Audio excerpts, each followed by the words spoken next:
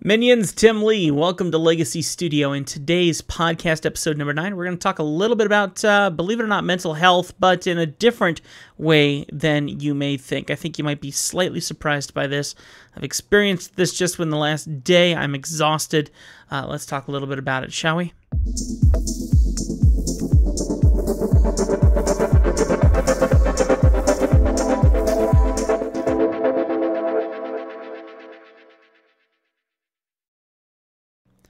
Well, this is a rather difficult podcast to make because I'm going to be talking a little bit about something that uh, affected me within the last day. Um, I grind incredibly hard on my videos. We are working so hard. We're releasing three new videos a week. I'm so incredibly proud of what we're creating.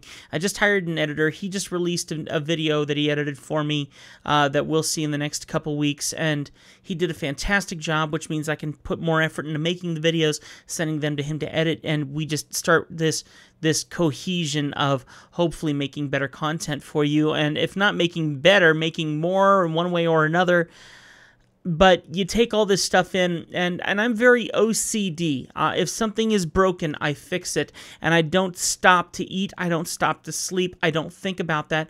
I stick on my goal until i fix it. And nine times out of ten that can get me in a lot of trouble and recently when it comes down to editing videos here on youtube um, i don't stop until the job is done and it's just how i've always worked i've watched my dad work like this and so i've always been in the same mindset of get the job done, and then when the job is done, then you sleep. Well, that hasn't worked out so well for me. My my day job as a radio DJ starts at 4 a.m. in the morning while waking up 4 4:30, being at work by five, and um, the grind starts at five, goes all the way till one in the afternoon, and then I get to come home at one, which is wonderful. But then at one, oh, sun's disappearing on me. At one o'clock, then I have from one on to work on videos and continue my passion of being here on YouTube. And I have made that a full time passion. I come here and I immediately get started. Whatever we're working on, whatever game, whatever song, whatever video covering some kind of tech, whatever tech review, um, I get in and I grind it out until it's done. Oftentimes that means I'm not done until until 12. I've seen myself even go as late as 1 a.m. in the morning when I need to be up at 4 a.m. the next morning. And I have just absolutely gone back and forth and destroying myself and just feeling super tired, but going to work and getting it done and coming back and and I've just gone through this cycle over and over and over again. And you may think that that causes burnout, which it does. Um, but that's not quite where, where we will talk about burnout today. That is another topic I do want to talk about. But um, yesterday, uh, I wake up and I thought I'd gone to bed a little bit earlier than I usually do. I went to bed at about 10:45, and I had a really bad sleep.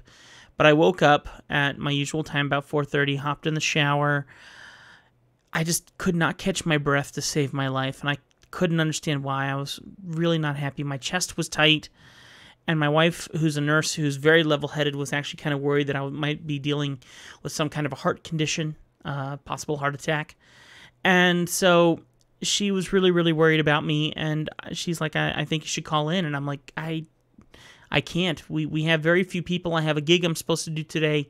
This is not I mean, I just but in saying all that and talking to her trying to tell her that I can't, I'm just watching myself slowly just falling apart in that moment. And so I sit down at our at our dining room table I call my boss up and I say, hey, boss, I need you to do me a favor. I need you to, um, I need you to liner out my shows, which basically means I need you to make the show sound like I'm there, even though I'm not there. And uh, I, I need you to set all that up, and I need you to do my weathers. I need you to do all that stuff. And I'm gonna have to call out today. And I said, but don't expect me to not show up at our gig tonight. I, I, I will be there. And, but I think he could tell that there was something wrong um, and I was realizing as I was trying to talk to him that I was stumbling over my words. And more importantly, I was starting to cry for no reason whatsoever. Um, I'm invested in my work, but not so invested that I would start crying while I'm talking to my boss. And I'm noticing that. I'm assuming he might be noticing it. Um, and, and it's completely catching me off guard. Why on earth am I starting to cry on the phone calling in sick. It doesn't make any sense. I hang up the phone with him. I'm sitting at the dining room table. I get up and I start walking towards um, the living room and my wife, and she very lovingly directs me to our um, our couch where I where I lay down on it, and I just could not stop crying for a little bit there. I was literally stuck crying in the moment. It didn't make any sense. I just I couldn't make sense of it, and in laying there, there was no reason to be in an emotional state. There was no reason to be in this in this thing, except the only thing I could think of was my body has finally hit its limit of all the late nights and all the rough sleep. Now, my wife has told me, and I agree with her, that I sleep, have a bit of sleep deprivation issues. Um, uh, not sleep deprivation issues. I mean, um, what do they what do they call it? You know, where you snore a lot and you can't breathe certain times. We had a test done, and apparently, I'm not getting sleep apnea. My wife says a sleep apnea, and um, with with that sleep apnea, what do you got there? I didn't know if you want this. Do you want me three mil film? Oh yeah, totally. I didn't know. I Come didn't, here. I didn't mean to interrupt. Now I, I, it's the podcast. Do you want this at all? Dude. Store it? Look at this. All right, guys, we got more film. What do we got here? Black and white Kodak. You know they went out of business a long time ago. 24 exposures, 400 film. That's cool. Can you use that? Oh yeah, totally. Uh, It's it's probably um, oh good heavens. Oh, you got 800. Nice. Ah, Sorry, I just didn't want to store it away. no, that's cool. That's cool. Usually you stick this stuff in the fridge for Uh oh. forever. Oh, So it's been in the cool basement. Does that count? Yeah, I guess that could count, couldn't it? anyway, guys, um, it, like I was saying there, thank you, honey. That's really awesome. Thank you. Wow, that's really awesome. Um, like I was saying though, she she was noticing that uh, she was like having to walk me over to our couch and lay me down, and I was just stuck in this whole emotional state. Even when she walked out of the house uh, in the morning, she's like, "Are you okay?" And I'm trying to hold back tears while I'm telling her I'm okay, and uh, and so she left and and this is just one of the situations of um what happens when you go through sleep deprivation. It doesn't just affect you it affects your family. Because if you're not aware that it is sleep deprivation suddenly things are my chest was tight at that moment in time. I was having a hard time catching my breath. My wife was wondering if i was going through some kind of a heart attack or something. I mean this is serious stuff right now. Uh, and and and something not to take lightly. Do you go to the hospital? What do you do in that moment in time? Is a tight chest worthy of being considered for uh, a heart attack or something like that? You really don't know. And I was just in a random emotional state, which was not fixing itself. She left. I cried a little bit more. Finally, grabbed our dog and wandered downstairs to our bed and fell back asleep with Zoe next to me. And uh, woke up about three hours later, just enough to see that someone had texted, and I really could care less. And I fell back asleep for another three hours. And by the time all was said and done, if I've done my math correctly, I got about 12 hours of sleep yesterday, just laying in bed and not waking back up. And um, it it just was mind blowing how your body just goes. I give up on you. It's my body. I should be able to choose when my body gives up on me. I know my limits, right? And obviously that's not the case at all. So, um, I'm I was so incredibly frustrated with that, but this is a very important thing. No YouTube fan, no YouTube viewer is going to invest that much of their heart in you to subscribe to your video and hit your like button. No amount of effort that you do is going to increase their desire to focus on you to that extent.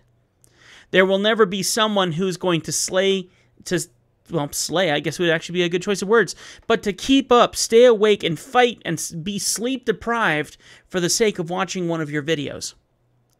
So, in saying that, is it worth you putting out all that energy to do that for them? And because I'm a guy who, if something's broken, I fix it and I don't stop fixing it until it's fixed, or because I'm the kind of guy, I, I guess you'd call it OCD, I'm not sure. Uh, because I'm someone who doesn't want to stop on a project until it's done. I don't even like to stop. I don't even like to stop to eat. I don't like to stop to sleep. I just want to get the job done and then go to bed. And my reward is going to bed, or my reward is any of those things. Um, it's a very unhealthy thing to do. You think it's not. You think it's grinding and and and working harder than anyone else, but it really isn't. It really isn't. And it leads to what my sepic, uh, my sepic, my second topic for this little podcast is. Um, this. Well, hi there. Hey, do me a favor. Try not to be weirded out right now. we're actually a sponsored video, believe it or not. We're sponsored by you, our patrons. And if you haven't become a patron yet, well, admittedly, uh, we'd greatly appreciate you consider doing that because technically we pander in every way, shape, and form to get you to subscribe to the YouTube channel, to hit the like button, and to consider supporting us so we can buy extra technology, get the latest music plugins, and everything else that makes the channel more exciting and more interesting for you. You know, we're a small channel, and of course, we're waiting for the big guys to come and find us, but until then, you are our support. You're what keeps us afloat. And we want to thank you so much for doing that. If you haven't become a patron yet, I hope you'll consider it because you get early access to videos. And, you know, we pander as much as we can to keep your interest. Because viewer retention, my gosh, it's gone like that. I mean, just like that. And the second one is talking heavily about uh, uh, um, dealing with burnout. Um, I think we've all heard about YouTubers. Uh, hang on a sec here. I think we've all heard about YouTubers who've had uh, burnout. Uh, I think we've seen it. Um, I know as an artist, I have gotten burnout, and I think a lot of my clientele have seen that burnout in me as I was working on their pieces. Um, and and when it comes down to it, burnout, I, it's understated. How about that? I think it's incredibly understated, and just as sleep deprivation is. Um, and I and and the way I take that is sleep deprivation is a lack of your body getting the nutrients it needs or the time to process that nutrients that it needs. Uh, I eat absolutely terribly and I sleep absolutely terribly, and both of those do not make a good concoction of success. Um, in the same way, I sleep terribly um, and then I work terribly hard for what a lot of people would consider very little results. To grind away all day long from 1 p.m. as soon as I get off of my day job that I started at 4:30 a.m. and grind all the way until midnight or 1 o'clock in the morning, uh, working on a video that only gets 20 or 30 views, hoping that it'll win the lottery, as I've talked about in the past. Um, the amount of success that's in that doesn't seem very much. And so it causes the idea of burnout. And I've seen this heavily in my own life because I started a YouTube channel a long time ago teaching caricature and cartoon. I got that channel up to, by the grace of God, got it up to 13,000 subscribers. And I just checked today, 13,300 subscribers. And in all that time and all that hard work, I was starting to see crazy amounts of views. I was feeling really good about it. And out of nowhere, they dropped and I mean dropped, hard rock drop. Um, and actually, after talking with someone today, I'm kind of wondering if I wasn't uh, shadow banned. Someone actually contacted me today on this channel here um, and told me that they're wondering if my channel isn't shadow banned. Uh, because I use the term God bless and I use the term, you know, I talk about my faith and I talk about how important God is to me and why this channel will succeed if that is His will. Um, and and I, I possibly Google has shadow banned me because of using these words. It's a soft way, basically, of you know blocking the content. Uh, I look at my stats and. Um, I think it was like 10, 10 votes, and nine out of those 10 votes have said that they are not getting notifications, though they have hit the bell icon on my videos. Um, so for some reason, people are not seeing notifications of my videos. It's a very serious thing, obviously but I think that at one point in time happened to me in the past as well on on my old drawing channel. And in seeing that and in seeing all the hard work that I was putting into that channel and nothing happening, I began to feel the burnout. Why make videos? Why fight so hard um, to not see a result? But it went a step further than that as well. Because of um, all the drawings I was doing for other clients, I couldn't work on YouTube videos because I had to go where the money was. Where was the money the most? The money was doing drawings for other people. Um, and I had commissions lined up for a year. My goal was to have a commission a week. And so I scheduled people out a complete year. Um, to have their artwork done. Amazing that they stuck around that long. And I fought tooth and nail to get it done. And uh, yeah, it got done. And I was very thankful that people stuck around long enough to actually be able to enjoy that. Um, and uh, that was that was really a surprise in a good way, in a very good way, I think. But at a certain point in time, after grinding all day long, after coming home from work and continuing to grind on other people's artwork, at a certain point in time, you get this thing called burnout. And burnout is so much worse than just I'm tired of doing the same thing over and over. It's not a thought. It's not a thought. It really to me, it, to me it truly is a mental illness. It is a it is a um it is a mental health issue.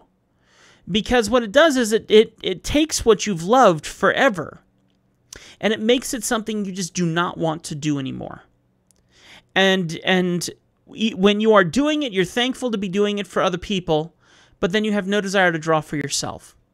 Or you can't think of anything positive to draw for yourself because you've just crammed so hard and focused your brain so much attention on other people's artwork that you don't have any any energy left for yourself. And in the same way, if I did suddenly feel somewhat creative uh, to to work on something for myself personally, I suddenly felt incredibly guilty in that moment for not completing other people's artwork. And I found when I was the most creative was actually sitting inside an airplane, flying to some location with my wife. And on those trips, sitting in the airplane when I really couldn't do much else other than draw what I wanted to draw, I worked on my comics and I had so much fun doing them. I have a couple comics that I'm incredibly proud of uh, from my past that I enjoy very much because those were moments when you're sitting on an airplane, you can't talk to any clients, you can't do anything, and I just enjoyed celebrating in the moment of that trip with my wife or trips with my wife. But I'm also feeling incredibly guilty for not getting work done as soon as I get off that plane.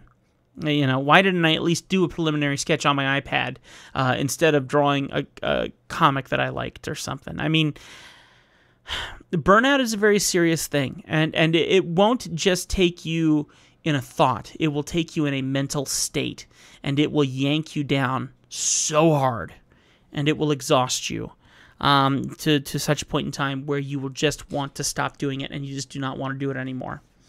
At one time, I was taking orders and I would say, okay, your order will be done in a month. And then I would complete it in a week. So that way I could surprise the client and they're going, wow, that was so fast. Yeah, well, I have the time. You're welcome. You know? And that was a wonderful feeling to be able to give people. Uh, and then at a certain point in time, I just stopped meeting deadlines. I could not keep up with the deadlines. And I couldn't understand why I couldn't keep up with the deadlines. Why can't I keep up with something that at one point in time was so incredibly simple for me to do? To schedule way too far in advance and then back up a little bit and say, now I'm going to knock this out now so I can kind of be the hero of the day. It made sense and it was easy to do. Or was it? Well, at a certain point in time, it wasn't anymore, and it became exhausting 100% exhausting. And it's such a shame that it did, too. Uh, really, such a shame that it did. So, needless to say, the two the two points I'm trying to make here is do not invest yourself in something so much so that you hurt your mental strengths and that you hurt your body over it. 100%. Your body does not deserve that, and your brain does not deserve that. And if you want to continue living in the passions that you're living in, continuing to live in the goals that you want to reach, you can't do that if your body's not running 100%. And you can't do that if your brain is not running 100%. And you especially can't do it if you're so burned out by it and so exhausted by it. I'm thankful I made it as many years as I did in drawing. Um, 100%. It it's it's not worth crying over. It's not worth fighting over. It's not worth all that extra energy. Uh, and and I gotta say, I've been getting a lot of contacts now from people just at random. For some reason, I'm the forbidden fruit now, where because I've decided to quit doing artwork now, I'm getting contacted by a lot of people asking me to do artwork for them, and I'm having to tell them no. Because you guys, this is now my passion. This is my focus. Making videos and, and making YouTube videos. And I I don't know if I'm going to make enough money to make up for all the artwork that I'm missing, but 100% I'm going to try. And and and I really hope I can. I'm putting it all in God's hands. I don't care if I'm getting shadow shadow banned or whatever from YouTube. Uh, I I'm proud of what I'm doing. I'm proud of what God has given me, and I really don't want to fail in that. And I just want to keep going, and I want to keep keep crunching. But I'm I need to get proper sleep, and I need to focus on those things, and so do you. So do you. Um, your mental health is worth a, a YouTube view. Because most of those YouTube views aren't even going to watch this all the way through. It's the invested people who will watch this all the way through, but it's uh, but most of the views you're going to get, they're only going to watch a small piece of your video. Okay? Unless you're just that good at content and if you're the Mr. Beast of that kind of content, well good for you. But um yeah, when it comes down to it guys, it's not worth it's not worth the fight. Uh, not to mention, if your brain is not running at 100% capacity, you're not creating the content that you could be creating. Um, and and burnout truly, it's not a choice. It's not a choice. You don't choose to be burned out. You don't choose to be burned out. When that happens, it's too late. You need to be ahead of the curve uh, of of that, and and if you see it coming, you need to alter your plans now. If you feel burnout coming, back up now, or you are going to regret it so fast. Because I got to tell you something, I have no desire to work on artwork. And yes, there's money passing me by right now, but for some reason, I still feel somewhat okay telling people no. I'm scared. I'm very scared about telling people no. But when it comes down to it, um, I'm too. I feel too good about what I'm doing here with you guys and I hope that you enjoy it too. Uh, do me a favor, folks, if you do like this, um, hitting that like button helps me. Uh, believe it or not, YouTube sees every single one of those likes, and every time you hit that like button, that helps me get out into YouTube a little bit further. And considering that right now no one is getting notifications, even those who have hit the bell uh, on my videos, uh, it would mean an awful lot to me if you would hit that like button uh, and even share one of my videos on your social media. Uh, we have an amazing person, uh, Lucas Music Official, who is our Patreon, uh, and he supports us, and he is alone in our Patreon because the videos that are supposed to be getting out there and reaching the masses are not getting out there, uh, and he's just alone, the only YouTuber who is supporting me on Patreon, getting to enjoy a month of early access to content. Um, and no one else knows about it. And he's in there by himself. He's a he's a trooper. We call him our commandante of uh, of minions. Uh, we appreciate him very much. But if you wouldn't mind, hit that like button. Um, our content is not getting out there. We're getting blocked in one reason or another, uh, whether it's because of my faith and the statements I make of my faith, or whether it's because of uh, something else. Mm, I'm, I'm, not demonetized, I'll tell you that, but uh, people aren't seeing my work, and I would love it if they could. Uh, if this has helped you in any way, then leave a comment down below. If you've been through this yourself, leave a comment down below. I would greatly appreciate it. Um, and I want to thank you so very much for. Um, for focusing on yourself and making sure that you don't go down the same paths that I go down. I am so incredibly proud of what we're doing here. Uh, I'm so incredibly proud of our new editor, Jake. I'm so excited to work with our new cameraman that we're going to be working with here in just a couple weeks. Um, I'm I. Uh, I'm excited to see what happens next. Uh, little blessings keep coming in that show me that we're going the right direction. What that means, I'm not sure. Um, and it's going to be you guys that help me get there. We're going to keep this podcast short today, I, and I know this was mostly me talking about the past couple days and and and all that stuff, but I hope that in some strange, weird, fanciful way that the knowledge that I've imparted here and the experience that I've had in the past couple days will inspire you not to go down that same road. Um, and I hope that you drive for your passions. I hope you succeed in those passions, and I hope you go crazy over them and find joy in them. Um, I keep thinking about um, um, and Roman Atwood, who unfortunately isn't online much these days after his mother passed away, but he used to say that uh, uh, he would cry over not being able to work on videos full time. And I feel the exact same way. Um, my YouTube is my passion. What I do on this channel is my passion. Uh, and I don't get enough of it. And and not getting enough of it, you can tell I fight for it, and the next thing you know, I hurt my body over it, which is such a terrible thing. So in any case, I love you guys. God bless you richly. We'll see you next time right here on another Legacy Studio podcast. I hope this touched your heart. If you want to see some of our previous episodes, you can check it right over here. Uh, and if you want to, let's see, if you want to check out my music, go and take a look over here. We'll go ahead and do that. Uh, by the way, we got some gaming episodes coming up here in the next couple weeks, so keep tuned for that. Uh, God bless you guys. We'll see you next time. Jake, thank you for your edits, and thank you so much for watching, guys. Until next time, bye bye.